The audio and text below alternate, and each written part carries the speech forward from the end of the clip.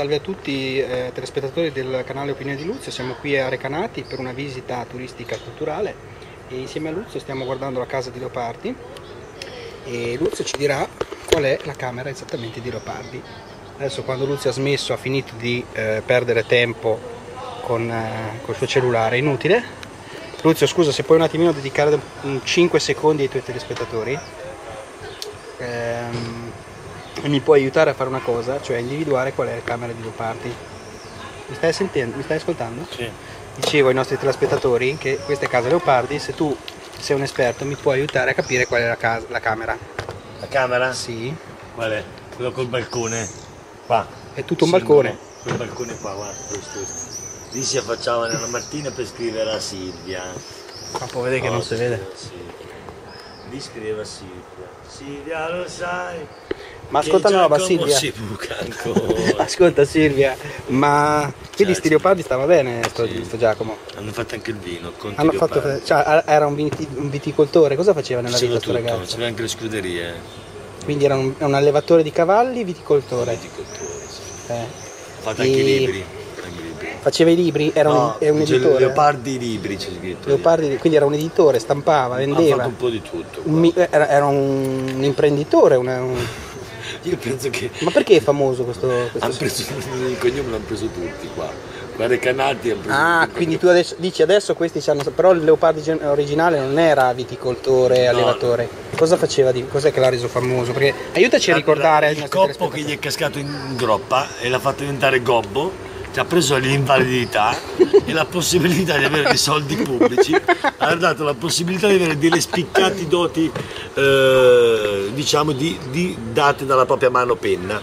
Perché dedicarsi durante la giornata non a zappare la terra, che era una, una realtà eh, quotidiana del vivere del- dell'Ottocento, a lui naturalmente con la pensione di anticipata, logicamente si è salvato e ha tirato un sollievo di, di di sospiro e naturalmente ci ha fatto un gran regalo. Non vorrei pubblicizzare o reclamizzare più pensioni di invalidità rendono menti più elevate, però logicamente nemmeno non so se la zappa forse nobilita l'uomo. Queste sono tutte diciamo perplessità che Opinione di Luzio pone ai propri telespettatori. Quindi Leopardi, scusa la domanda perché cerchiamo di fare chiarezza per i nostri telespettatori, io cerco di mettermi nel Lei da loro accendere ce l'ha? No.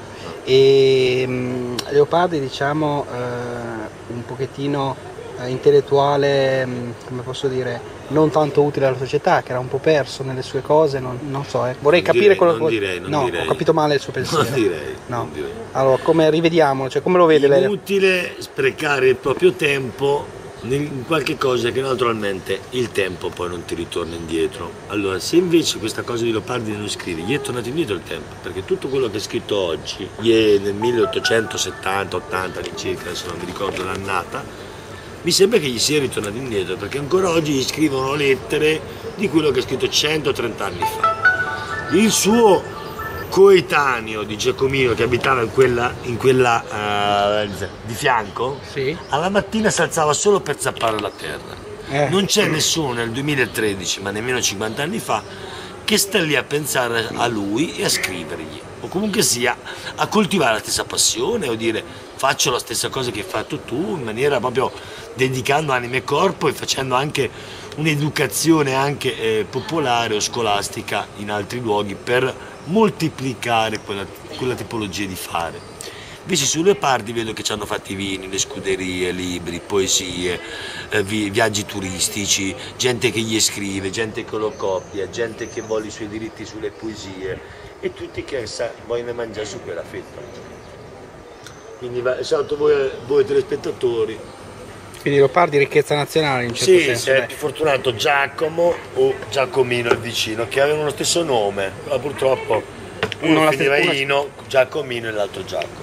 Però Giacomo originale c'aveva la gobba, aveva l'invalidità, Sì, quindi Eh, forse se avuto... non aveva pre- Quella è stata la fortuna, la co- il Ah, coppo che gli è cascato. Quindi lei dice a volte la sfortuna, alcune sfortune che Sì. apparenti possono anche essere delle fortune, lei mi dice. In giovane età poi è capitato. Deve ha avuto capitare presto. il tempo del suo estro artistico Ah. di poter, potersi costruire come, come poeta, logicamente. Capito. Quindi è Se proprio... il coppo gli cascava a 80 anni, a un ottantenne, Eh. cosa gli vuoi generare? non, te- non te parte la poesia, troppo tardi.